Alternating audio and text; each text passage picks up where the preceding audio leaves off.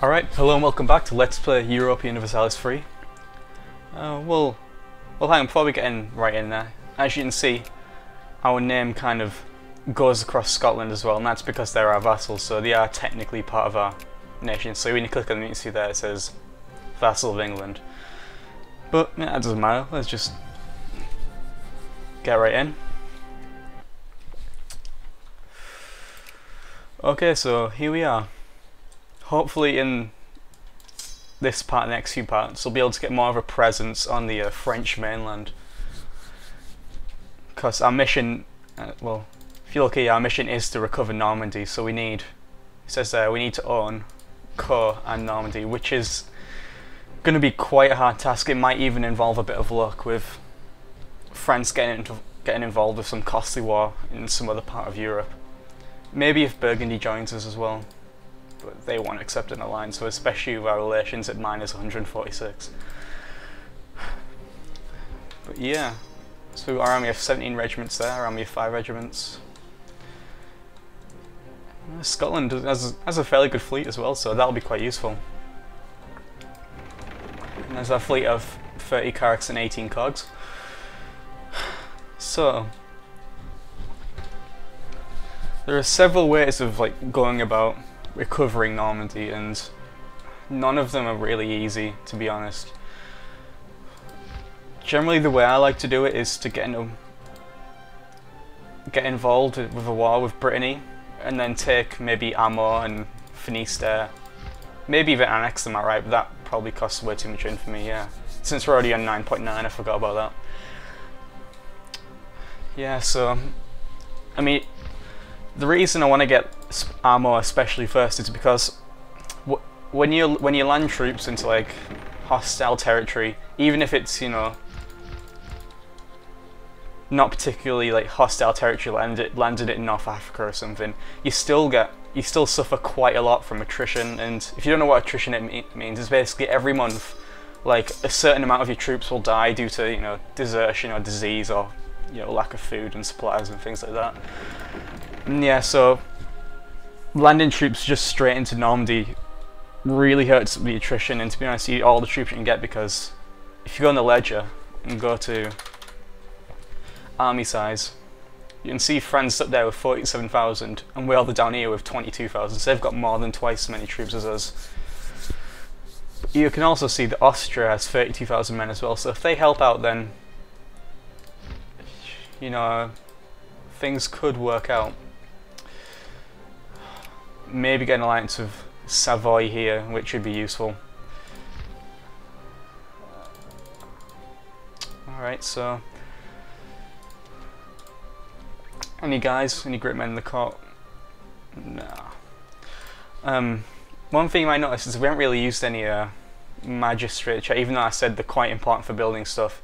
And this is mainly because if you look at attack rates, we're still on free, and the first, if you go on here, the first buildings don't become available until you've reached uh, te like technology rate 4 in each of the different types of technology. So we can't build them yet. So in the meantime, you want to use, you, you can use them for something else, and that is, if you go to the uh, culture tab here, you see you've got these cultural decisions, and these cost magistrates, but if you go on one like commission painting, it costs one magistrate, but you do gain five cultural traditions. So what I like to do is every time I've got you know spare magistrates going around, just always just pump them into especially commission painting because that's quite good. There's some other good ones here as well, but a lot of them cost money and diplomats and things like that. So we'll use them later on when we can spare more magistrates than we than we can.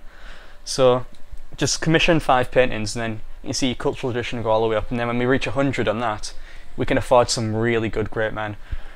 So just clicking it five times so we're out of magistrates and you can see already you're up to 40 cultural tradition. Now this does decay over time so it won't always stay at 40 it'll sadly gradually decrease but still it's always nice to get as high cultural tradition as possible.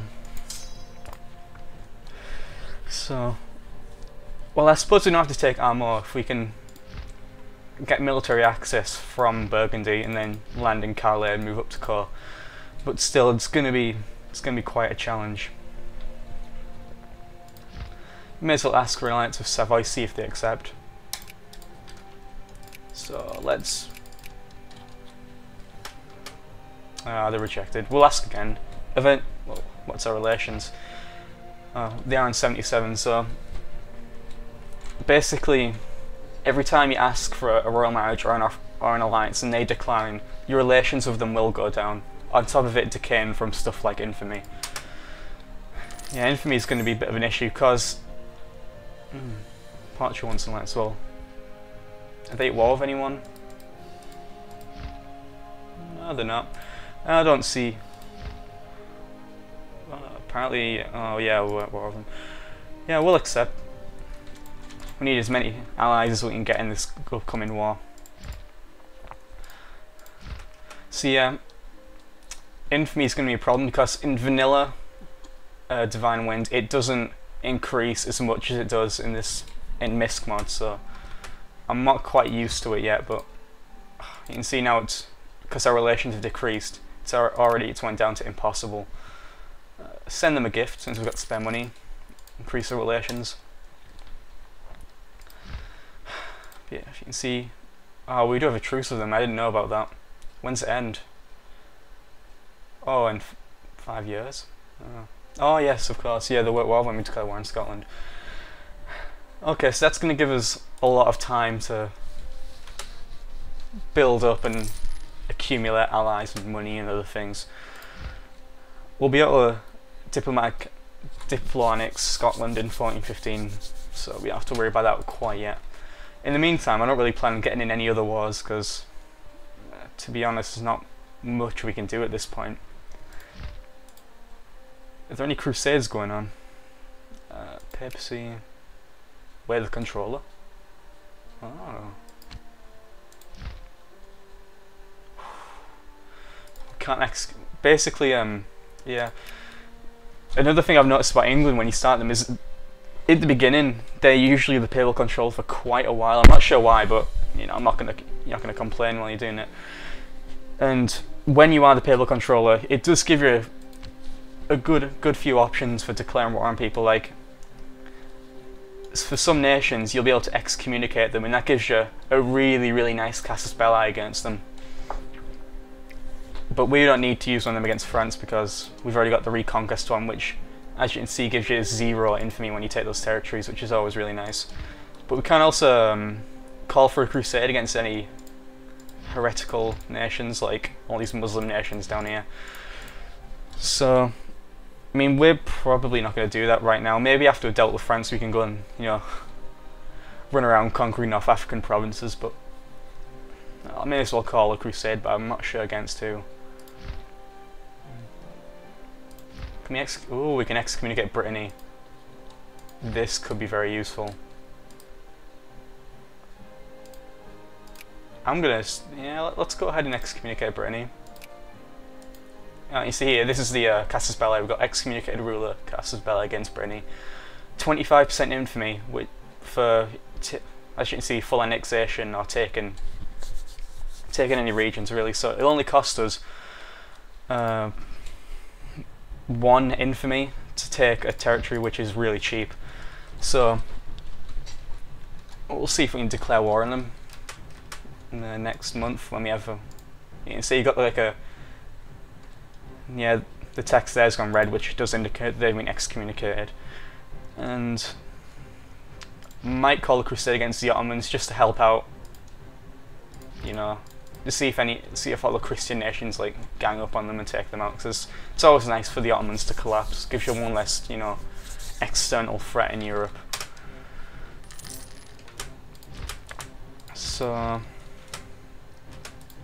now we can see they are allied with Burgundy and Savoy. Well, send another gift to Savoy.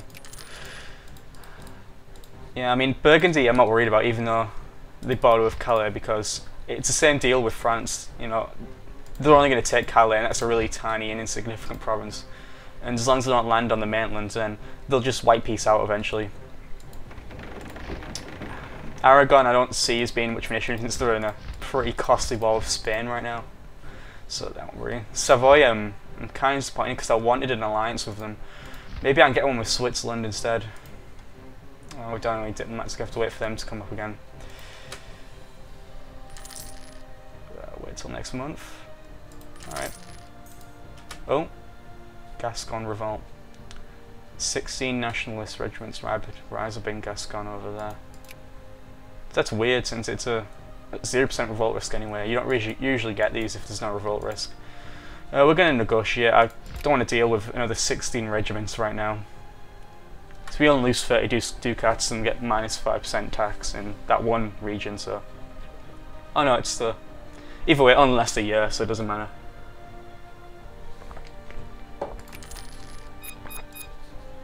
Alright, so... Wait, oh, we do have one diplomat, so we can declare war on them. Will Portugal join us? Scotland and Austria will join, but Portugal won't. Um, I want to get. I don't want to get Austria involved in a potentially bad war with Burgundy, so I won't call any allies to this one. Before we declare war, I may as well get our troops in position, ready to strike. Oh, I'm not really worried about the army of Brittany. It must be really tiny, to be honest. As long as France doesn't get involved with, which I don't think they will, since we've got a truce going on. Send these troops down there. So, I may as well throw down a save just in case.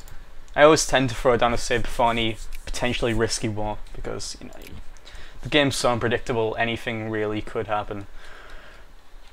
And I'm trying to actually succeed in this game, so okay. Whoa! Declare war, excommunicate ruler.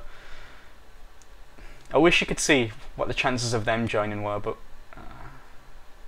yeah, we won't join. We want to keep Portugal as our ally.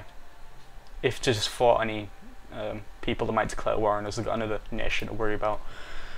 So, let's get this going. And our troops. Yeah, we do have a general, so we'll be fine. Burgundy and Savoy joined, but not Aragon, which I'm not surprised. Savoy won't do anything, but Burgundy, just gotta make sure they don't land in the mainland and we'll be fine. Hopefully they don't have military access with France, so they won't be able to. Corsica joined as well, but who cares really. So we'll send our fleet in straight to Dover so you can see that's where their fleet is. I mean, it's only three carracks before cogs, but one of those little complications as possible here. So you can see um, already we've got a 7.5% attrition rate, even though, you know, it's only ammo we've just landed. And already we're down to 15,000 men. That's why I wanted a border province first. Austria, what? Oh, this is bad. Okay. I don't. I mean, they're not going to do anything because they're landlocked, but still. It wouldn't be nice to have them as an ally. Okay. I actually wonder where Brittany's army actually is. The war of anyone else? The war of Castile. Of course, it'll be in Castile, so Nothing they can do about it. Oh, survivor landed troops. Quickly send the fleet there and back.